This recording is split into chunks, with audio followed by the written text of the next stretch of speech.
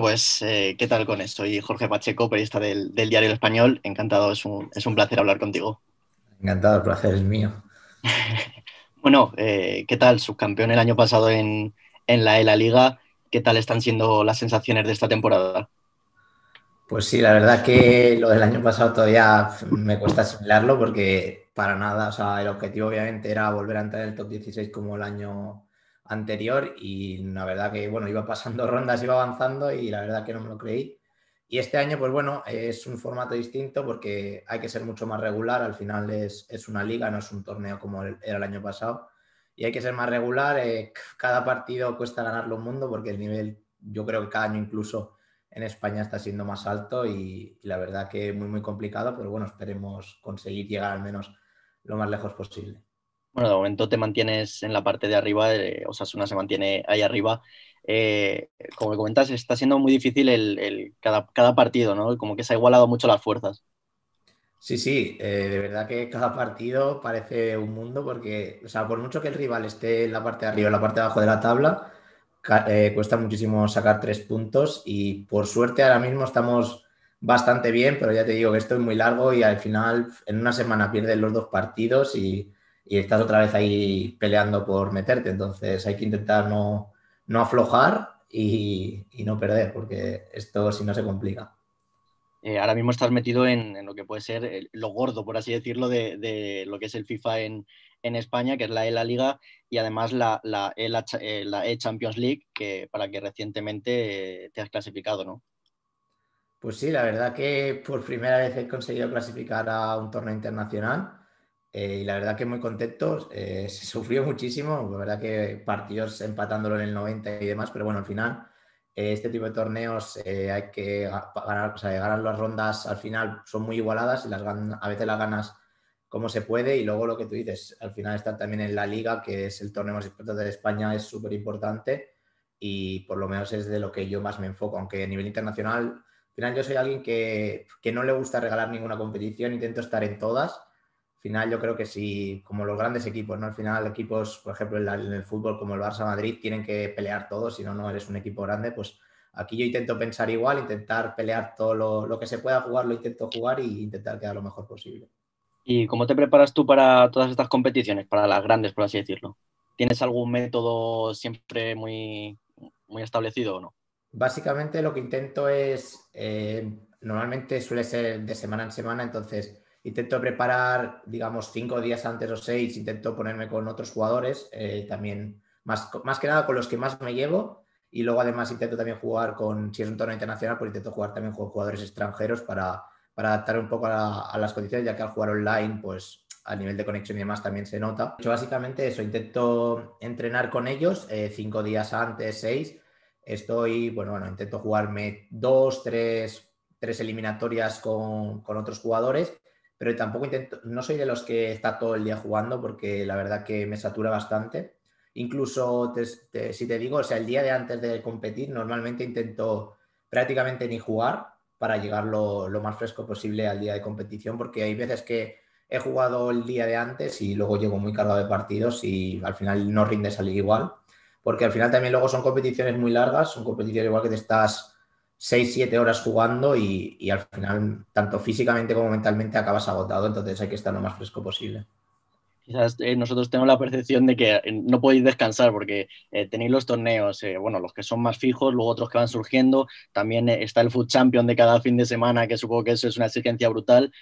mi percepción es que cuando pienso en vosotros digo, joder, tienen que estar todo el rato echando horas y horas al FIFA, pero no es tan así, ¿no? No, la verdad, a ver, tampoco es que a mí muchas veces me preguntan en cuántas horas juegas al día, ¿no? Y al final tampoco, hay días que incluso, por ejemplo, ayer jugué, nada, jugué por la noche ya, pero es como que estuve un día sin jugar al FIFA. Al final también necesitamos esos días de desconexión. Pero bueno, también creo que depende un poco de, la persona. Hay gente que sí, que yo conozco amigos que, bueno, que también juegan a esto y, y están prácticamente todo el día jugando. Yo al final necesito también desconectar, a veces eh, irme un rato a, dar una vuelta con mis amigos o desconectar un poco, porque al final si estás todo el día metido en esto, te saturas y, al final es perjudicial. ¿Y cómo fue el principio, el inicio tuyo con, el FIFA? Imagino que como todos los niños de, nuestra generación, pero bueno, creo que me lo cuentes tú mejor. Sí, a ver, yo el, principio, principio del FIFA, o sea, yo antes jugaba era más del Pro Evolution, que era el, como el otro videojuego, pero más en, la otra generación. Eh, y ahí ya jugaba con mi primo y demás, sobre todo, era con el que más jugaba. Luego, cuando ya pasamos a las consolas, eh, digamos a la Play 3 y demás, que era más online, era más de jugar a juegos del estilo Call of Duty y demás con mis amigos. Y el FIFA tan solo lo utilizaba para simplemente, pues bueno, el rato que desconectaba y demás, pues jugaba al FIFA, ya que a mí me encanta el fútbol, la verdad que es mi deporte preferido y al final, pues estoy todo el día viendo fútbol, jugando fútbol y pues bueno, también lo hacía aquí la consola. Y ya luego el Call of Duty y estos juegos fueron perdiendo fuerza y mis amigos también dejaron un poco, un poco de jugar a lo que es la consola ya cuando empiezas en la universidad y demás.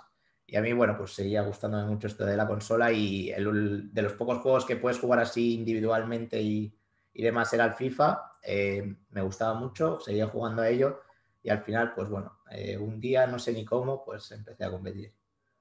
Eh, quería preguntarte sobre eso. ¿En, qué momento dices, joder, puedo dedicarme a esto y, das el salto a, lo que es el, gaming profesional? Pues mira, yo hace como, no sé exactamente, pero tres años o cuatro empecé, empecé a ver esto de que la gente competía en esto del FIFA. Yo justo acababa de empezar a jugar al FIFA. Yo empecé como FIFA 14, FIFA 15, pero no veía nada, absolutamente nada. Y ya fue como FIFA, no sé si fue 18, 19 empecé a ver a nivel internacional, sobre todo gente como torneos, y me gustaba mucho Nico, por ejemplo, jugador argentino, y Diego también, y les empecé a seguir mucho y, yo me planteé, dije, ostras, eh, al final jugábamos el, el, del Food Champ y demás, digo, bueno, tampoco se me da tan mal, eh, vamos, vamos a intentarlo, ¿no? Vamos a ver qué tal se da. Y ese año eh, empezó, creo que fue el primer torneo que se hizo de la liga, que, que salió campeón JRA, creo, en lo que es Play. Y, bueno, yo justo antes, me remeto que me he colado un poco ahí, eh, quiero decir, antes yo ya estaba planteándome, digo, este año no, porque sé que hay que invertir dinero y demás, eh, porque si no es bastante complicado, pero bueno, voy a prepararme para el año siguiente. Entonces, eh, me puse a trabajar ese año, básicamente, mi padre tiene una discoteca, pues bueno, me puse a trabajar ahí de recoger vasos y demás, bueno, lo, que había por, por ganar algo al mes y yo lo iba ahorrando, lo iba ahorrando. Y ese mismo año, eh, o sea, yo jugué el torneo, de, no jugué todos, creo que hubo como cinco torneos y yo jugué dos porque unos coincidieron con Semana Santa, yo me iba al pueblo con mis padres y ahí no tenía internet y demás. Creo que cinco torneos jugué dos, obviamente no clasifiqué ni nada, pero bueno, yo ya me pensé prepararme para el año siguiente y ya cuando empezó el año, en septiembre, ya eh, todo lo que había ahorrado, o sea, todo lo que había ahorrado que había podido, no sé si fueron 500, 600 euros, decidí invertirlo, que es la apuesta que había hecho, y pues bueno, pues por suerte fue bastante bien el año y nos metimos en el top 16 y ya luego vino todo el tema de entrar en un club y demás. Eh, da un poco la sensación de que como es algo tan nuevo esto de, los eSports, ahora que se está además profesionalizando, como que siempre surge mucho, mucho talento nuevo a cada año, que cada año pues sale un chaval que es de los mejores pero estar ahí arriba supongo que está al alcance de muy pocos. Primero por las horas de trabajo que supongo que, requiere y porque al final, como en todo, tiene que haber talento, ¿no?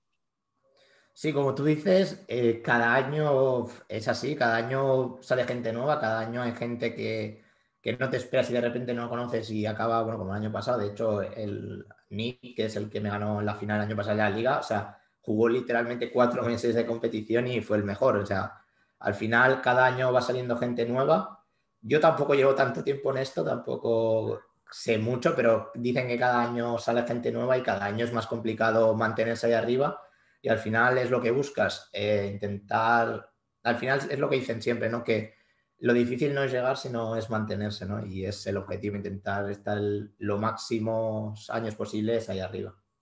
Y ahora que estamos a punto de, bueno, de cumplir como un año, por así decirlo, del inicio de, de la pandemia, eh, ¿Dirías que este curso 2020-2021 ha sido el, definitivo de la explosión de los eSports? Yo creo que, es el, como el año de inflexión, ¿no? El año que empieza a, reventar todo, ya no solo a nivel de FIFA y demás, sino también a nivel de Twitch y demás, eh, demás todo el tema relacionado con los eSports.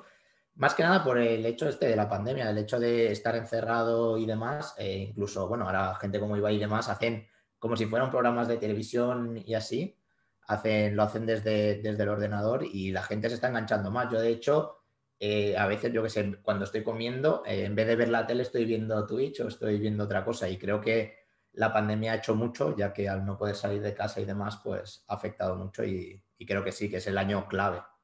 Sí, o sea, lo que tú dices, yo creo que al final un poco nos vamos enganchando todos ya cambiando a lo que es Twitch o, YouTube que, no ver la televisión o otros medios tradicionales. Y también eh, yo ahora eh, lo que veo es que ahora los niños ya no quieren ser tanto futbolistas eh, como quizás era nuestra generación cuando éramos pequeños y ahora quieren ser youtubers o, gamers profesionales. Eso es un plus de responsabilidad, ¿no? Para vosotros.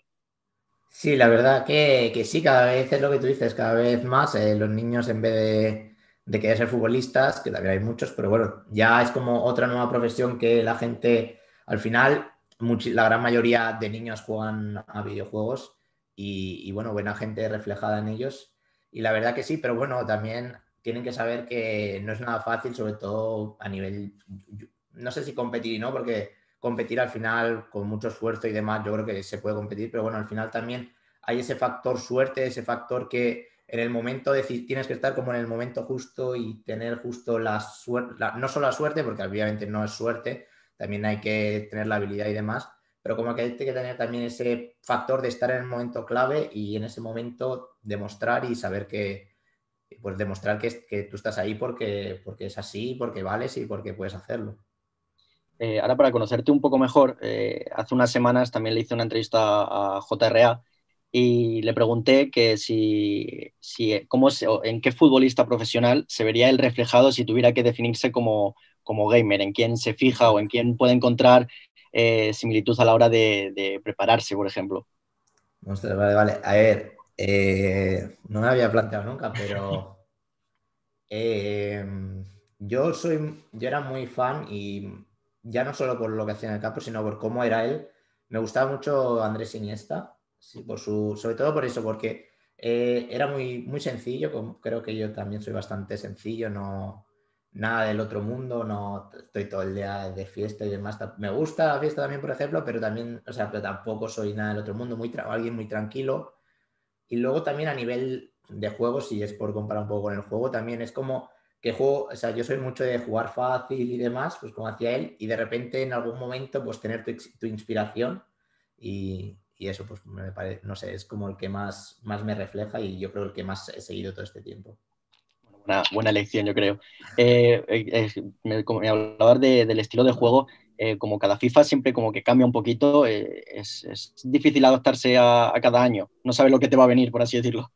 Sí, y o sea, yo creo que sí, es bastante complicado porque cada año el juego es distinto, pero ya no solo cada año, sino es que cada mes o cada dos meses te meten un parche y es como que cambian otra vez el juego de nuevo. O sea, hace un mes, por ejemplo, teníamos un juego que yo era bastante, o sea, no, se me daba mal, obviamente, pero me costaba mucho más. Y ahora, por ejemplo, han metido un parche y se me da algo mejor, porque, bueno, pues han quitado más regates y es más juego de pases y demás. Entonces, cada año es diferente. Al final, la clave, yo creo que lo que siempre me fijo de la gente que ha estado arriba y está, es que se adaptan. Al final hay que intentar adaptarse a lo que el juego pida y al final los mejores, yo lo que veo es que los mejores siempre están arriba. Entonces, da igual el juego que sea, que siempre están arriba y siempre son, prácticamente siempre son los mismos, a excepción de dos o tres que siempre aparecen nuevos. Pero los mejores siempre están arriba y eso es por algo. entonces, adaptarse e intentar pues, hacerlo lo mejor posible en todos los juegos. O sea, es algo quizás incómodo, ¿no? Para vosotros el que sea tan cambiante, pero al final es eh, cuestión de, trabajar, ¿no? Exacto, sí, es incómodo porque al final cada año es, como que empiezas de cero de, nuevamente y no sabes, no sabes si dices, este año igual el juego no se me da bien, este año me cuesta, pero bueno, si te fijas al final, cada año es lo que digo, están los, los mejores prácticamente son los mismos, entonces si eres capaz mentalmente de estar fuerte y adaptarte y pasar, por ejemplo, igual tienes un mes o dos que te cuesta mucho, pero si consigues aguantar esos meses y mentalmente estás bien, luego seguro que al final pues consigues coger el ritmo y, engancharte de nuevo. Cambiando de tema, eh, tú eres, eh, formas parte del Club Guasones, eh, cuyo fundador es Rubén García, futbolista de, Osasuna. ¿Cómo es que tu jefe sea un futbolista de primera división, por así decirlo? La verdad que sí. Eh, a ver, es curioso. Yo en un momento también me parecía un poco así sorprendente, pero la verdad que muy bien. Eh, al final, bueno, el final su, digamos, lo suyo es el fútbol, al final es lo importante, pero la verdad que le está dedicando mucho a esto de Guasones, le está poniendo mucha ilusión y muchas ganas y al final es un proyecto muy bonito que la gente que estamos dentro eh, pues lo estamos intentando dar todo porque al final cuando empiezas algo de cero es muy muy complicado pero la verdad que lo está haciendo muy bien y además pues bueno Rubén está haciendo todo lo que puede al final es lo que digo o sea no es fácil porque al final él tiene su entrenamiento que se tiene que yo que sé tiene que ir al fisio recuperarse estar en el partido, viajar, no sé qué, es muy complicado estar todo el día metido ahí, pero la verdad que intenta estar lo más atento posible y la verdad que tiene, o sea, lo que menos, lo que yo he percibido, un trato muy, muy cercano y la verdad que muy, muy contento con Rubén. Eh, con Guasones, eh, Rubén García, la unión con, con Osasuna para la, la liga era lógica, ¿no? Sí, hombre, yo, la gente yo creo que ya se lo esperaría un poco cuando se anunció el equipo, pero sí, al final, estando Rubén en Osasuna, eh, yo creo que, que, Osasuna no dudó en ningún momento y creo que era como la, mejor asociación que se podía hacer para, este tipo de torneo.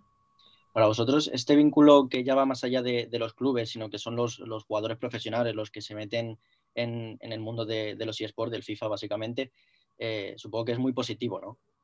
Sí, obviamente. O sea, todo el tipo de jugadores y demás, porque además sea, se sabe y mucho se sabe que la gran mayoría, no la gran mayoría, pero muchos jugadores, mucha gente así ya reconocida, o sea, juega videojuegos y al final también les encanta.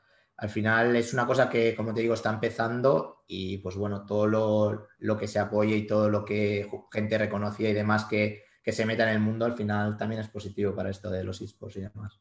Y tú has podido coincidir con, con alguno de ellos, ¿no? Jugar incluso contra futbolistas profesionales. A ver, eh, lo que es en el juego he, jugado alguna vez, pero, pero poco, porque al final es lo que te digo, ellos tienen mucho, mucho trabajo, ya no solo cuando juegan al fútbol, luego tienen que hacer, pues bueno, si estás en el, club y demás, tienen que hacer muchas acciones y demás. Pero con Rubén, por ejemplo, no ha sido el caso todavía, no hemos podido jugar.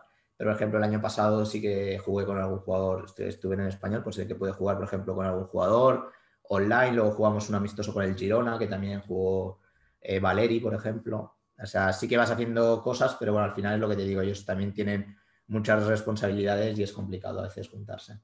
También eh, durante la pandemia, que es al final cuando más fácil se hizo eso de, juntarse, si no me equivoco, también hubo como eventos de la selección en la que estaba alguno de, los jugadores. ¿Tú ves que hay nivel entre, entre ellos también de, los futbolistas profesionales? Pues la verdad que sí, hay mucho jugador profesional muy bueno de hecho, yo, por ejemplo, he podido coincidir con Azpilicueta, por ejemplo, que la verdad que juega muy, muy bien. Eh, hay otros que no conozco que seguramente también sean muy buenos. Y luego hay jugadores del estilo Diego Jota, jugador del Liverpool, o jugadores de estos que en Food Champions hacen 30-0 y demás. O sea, son jugadores muy buenos. Incluso hay un jugador brasileño que antes jugaba fútbol y ahora se pasó a ser jugador de competitivo y, y ha clasificado algún torneo internacional y demás.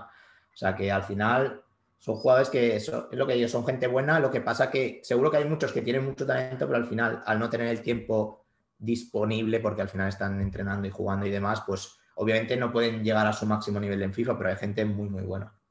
Eh, quizás la base del crecimiento de, los eSports, del, FIFA en, vuestro caso, es un poco esto que estábamos hablando, que al final todos hemos jugado a, FIFA, ya sea, ya sean jugadores profesionales, eh, ya sea en mi caso, eh, todo el mundo ha jugado FIFA, entonces igual es como un paso natural ¿no? de esta generación de, de ahora estamos viendo eh, partidas profesionales, torneos y demás, pues es un paso natural el, también verlos, ¿no?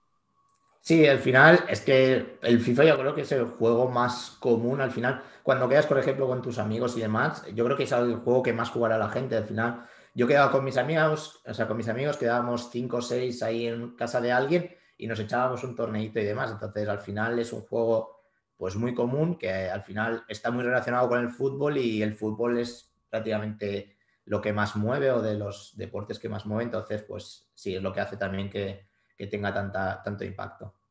Eh, de momento notas eh, esa explosión de, seguimiento de pues esos niños, lo que hablábamos ante niños que, quieren ser como vosotros o, gente que ya es, fan tuya incondicional o quizá como no hemos tenido todavía eh, en este año esto de los eventos presenciales no se, no se nota tanto. Si, no notas que tanto como que ya eres una estrella, vaya.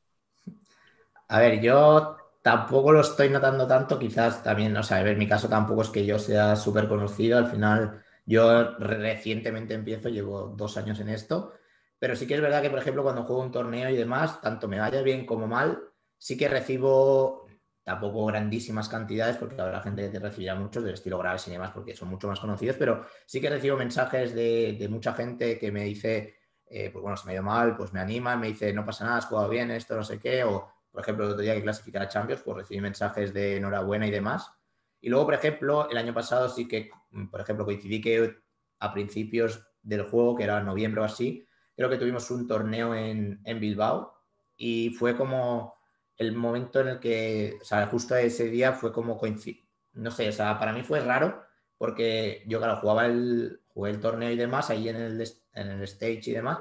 Y claro, cuando bajé, cuando me marchaba del sitio iba con unos amigos hablando de allí de Bilbao, que tengo amigos allí de Bilbao, y cuando marchaba había chavalines que me pedían fotos y para mí fue la verdad que un poco raro, porque no estoy acostumbrado a eso, pero sí, cada vez yo creo que, yo creo que eso que a los chavales también les gusta y, yo encantado.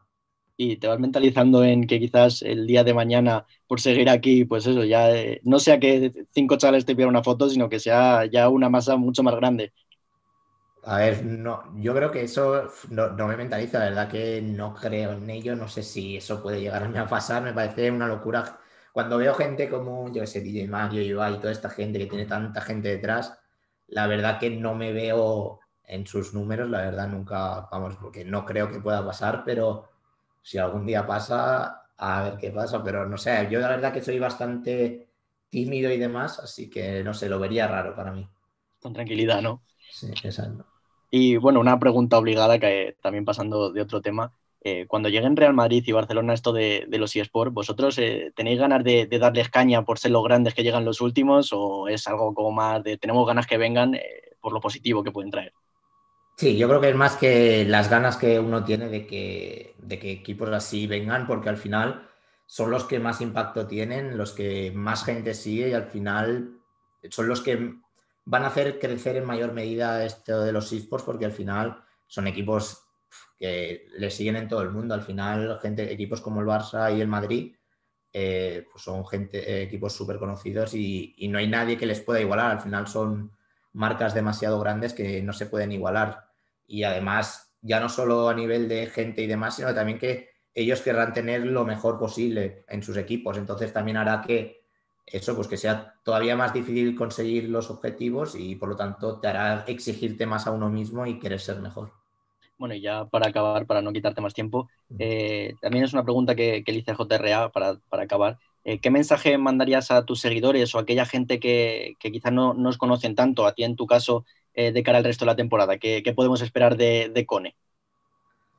Pues nada, decirle a la, gente que, pues que yo voy a seguir haciendo como hasta ahora, voy a seguir trabajando.